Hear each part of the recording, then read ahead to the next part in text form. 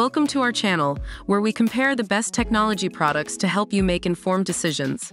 In today's video, we will be comparing the WD Blue SN570 SSD and the WD Black 2TB SN770 NVMe internal gaming SSD.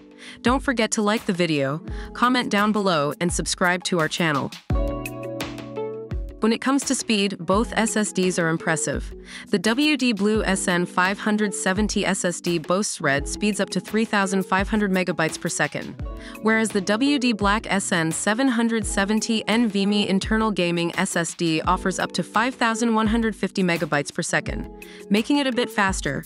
However, both SSDs offer great gaming and application load times. Performance may vary depending upon host device, usage conditions, drive capacity, and other factors. When it comes to capacity, the WD Black SN770 NVMe internal gaming SSD wins here with its maximum capacity of 2 TB, whereas the WD Blue SN570 SSD only goes up to 1 TB. This comes in handy when installing future games, DLCs, and updates without having to worry about disk space.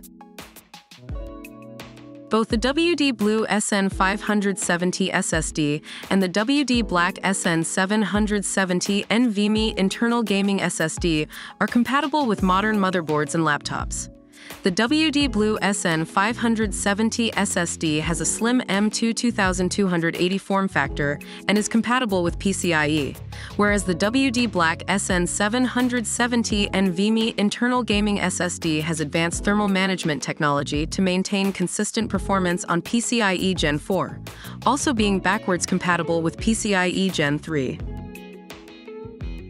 When it comes to reliability, both SSDs are protected with remarkable reliability features to help safeguard your content. In this area, both perform to an equal level. So there you have it, folks. It's clear that both SSDs have their advantages, but they are designed for different use cases. If you are looking for more storage space, the WD Black SN770 NVMe internal gaming SSD is your go-to.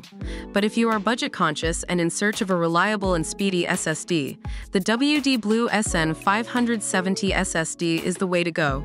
Don't forget to like the video, comment down below, and subscribe to our channel for more tech reviews and comparisons.